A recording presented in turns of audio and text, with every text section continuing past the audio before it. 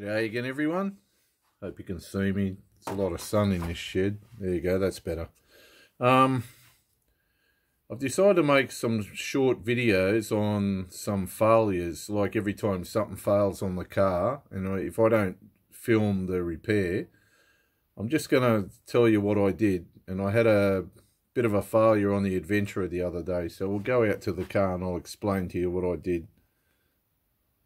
Okay, you're not going to see much because I've got the engine cover on, but what happened is uh, originally I, I always suspected a bad coil in this thing, so it always had a miss in it when it was cold. So, of course, it was this coil here underneath there.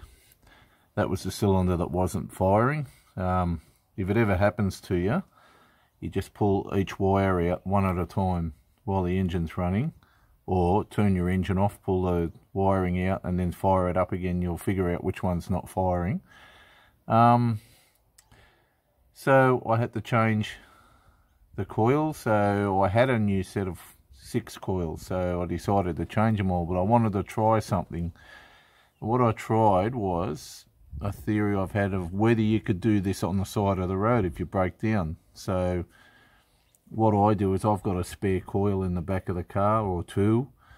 Um, so just say it happens to you on the side of the road and if you've got a spare coil, all you really need is a 13 millimeter socket, uh, 10 millimeter socket and a 7.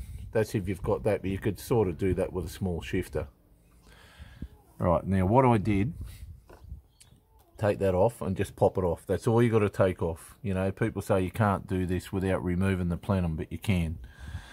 But you, you've got to undo it. Or so you undo your six bolts up the top, but you've got to take them. You don't need to lift them out. You've just got to undo them all the way.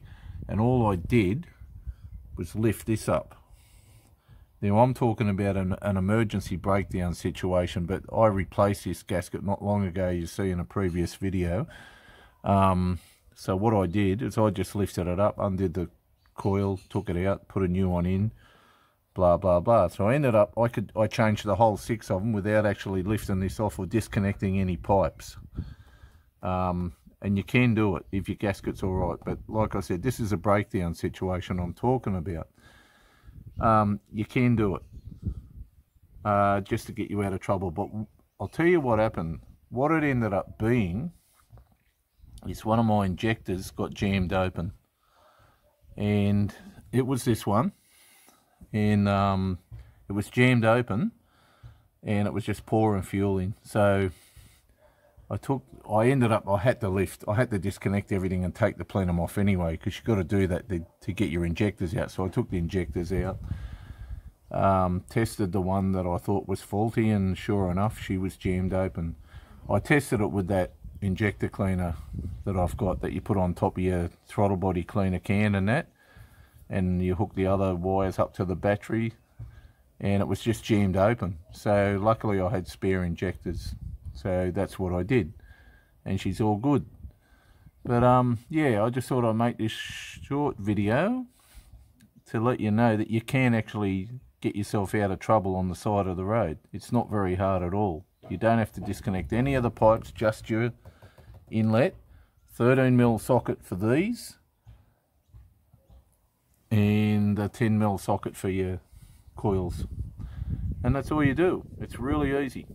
All right. See you in the next one. Bye